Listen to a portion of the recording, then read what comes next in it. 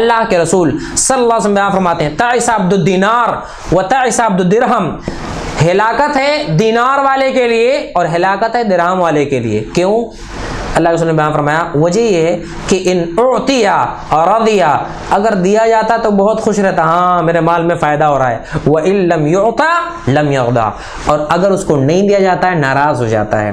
اللہ رب العزت پوری زندگی دیتا رہتا ہے، پوری زندگی دیتا رہتا ہے۔ بہت خوش۔ ایک بار اللہ نے نہیں دیا، ناراض ہو جاتا ہے۔ اللہ کے بارے میں شکایت کرنا شروع کر دیتا ہے۔ اللہ نے اتنی ساری نعمتیں دی ہیں، ان نعمتوں کو بلا کر کے صرف ایک بار نہیں ملا، شکایت کر دیتا ہے۔ جیسے عورتیں اس میں زیادہ مشہور ہیں۔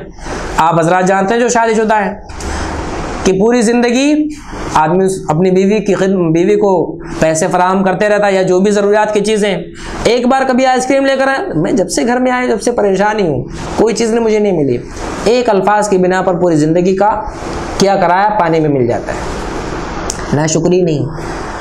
تو اللہ رب العزت عورت کی ناشکری پر اسے جہنم میں داخل کر سکتا ہے اور اللہ کی ناشکری کے تو اللہ کیوں نہیں داخل کر سکتا ہے؟ پوائنٹ سمجھیں آپ۔ ایک عورت اپنے شوہر کی ناشکری کرے تو اللہ کے رسول نے کہا ہے وہ جہنم میں جائے گی۔ اور بندہ اگر رب کی ناشکری کرے، رب کی ناشکری کرے، رب سے ناراض ہو جائے نہ ملنے کی بنا پر، تو اللہ اس کو بدرجہ والا جہنم میں داخل کرے گا۔ کر سکتا ہے۔ اللہ رب العزت کو یہ حق ہے اور اللہ رب العزت نا انصافی نہیں کرے گا۔